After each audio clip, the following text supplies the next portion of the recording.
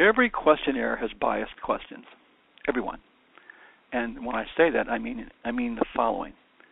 After you've asked the first question and gotten an answer, from that point forward, all the all the remaining questions have been shaped, and, and the answers to the remaining questions have been shaped a little bit by the response to that first question. And after the second question, the bias grows.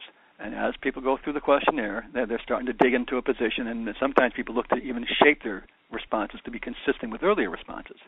Uh, or they, they feel they said this now, they should say this again, or say something like it again later. So there's so when people say, "Well, is this questionnaire valid?" That that's not the right way to to, to answer, ask the question. Is this questionnaire basically well developed? Is it is it got language that's easy to understand? Uh, are you avoiding blatantly leading questions? That's because you know, there are leading questions you want to avoid. Those are the, those are the, the important things. Again, do, did people understand uh, the, the the idea that that of what you're where you're going? If, if you were uh, hiding the sponsorship, did you hide the sponsor because you think it might bias responses? Did you hide the sponsorship successfully or not? Uh, or, or, or did you fail to hide the sponsorship, and, and, did, and did people suspect who it is, and then give answers based upon that? So these are these are all the things that you need to do on, on slide 20 to try to minimize the, the, the bias that's going to exist. There's always going to be a little bit of bias. Now, the best way to keep to minimize bias and all many of these other issues on slide 20 is to keep the questionnaire as short as you can live with. The shorter the questionnaire, the higher the cooperation rate, and the higher the quality of the cooperation. In other words, the more time people will spend giving better answers that reflect what they really think, and they won't rush through it. Uh, and that's important. All right, questionnaire decisions. Uh, basically, the order of the questions which we discussed, the presentation of stimulus, uh, key key thing to, to, to consider. What is the stim? What's the stimulus, or what will the stimuli look like if the, if you need that sort of thing?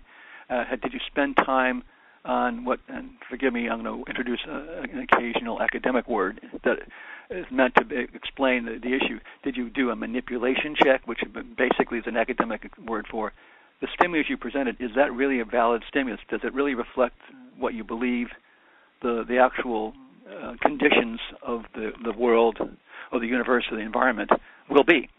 And sometimes you can't really do a uh, create a stimulus that's exactly like what will be because you're working on something that's a prototype.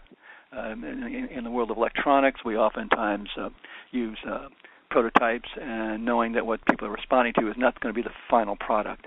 Uh, and same thing in, in, in finance, where we, we do test test runs of a financial product that is not exactly what the final financial product is going to look like, but we're, we we can try to come as close to it as we possibly can. Since of course rates and, and terms and conditions in the financial world can can change over time. Uh, same thing with the, in, in, in the in the healthcare area in terms of the kinds of uh, uh, promises you can make or can't make due to regulatory constraints. You don't want to promise something in a in a communication that you know you're never going to be able to say in actuality in, in, in, in the operating uh, marketplace or environment.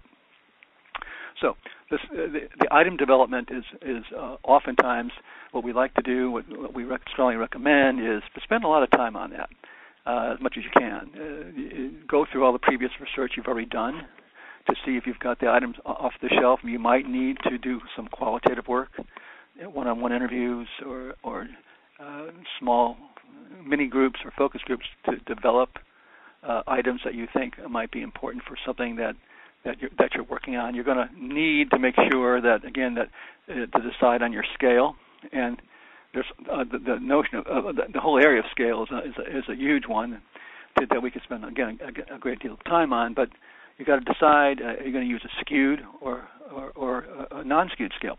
Uh, let me talk tell you what I, what I mean by that. Typically, scales are balanced you got you know typical one of the most famous scales is a you know definitely will buy, probably will buy, might or not might or might not buy, probably will not buy, and definitely will not buy. Now, but sometimes uh, it, it doesn't discriminate enough, and you and maybe everybody's favorable, and so everybody's going to say probably or definitely. And you, what you want to do is you want to put in more positive elements on the positive side to be able to get some separation from those who really feel strongly about it versus those who don't. And so you come up with a positively skewed scale. Overall, overall brand appeal, overall brand appeal is a scale like that where you ask people on an overall basis, what do you think of the brand, or what do you think of the company, or what do you think of the product, and you, and you use things like excellent, very good, good, fair, and poor. Clearly, clearly, that, those five points, um, uh, those five points are, are weighted toward the positive, so that way people can give you something positive without necessarily giving you everything in the top two box. And it, but the most important thing is to decide whether or not you want to do that or not. Now, open-ended questions.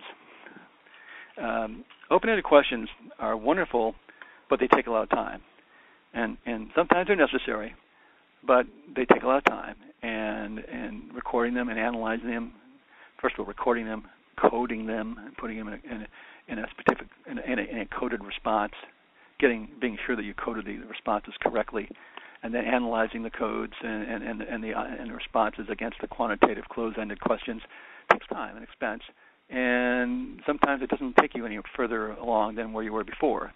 So it's best when you do your qualitative work to identify what the potential responses might be to qualitative open-ended questions, and then use that to basically inc- incorporate closed-ended questions into your survey.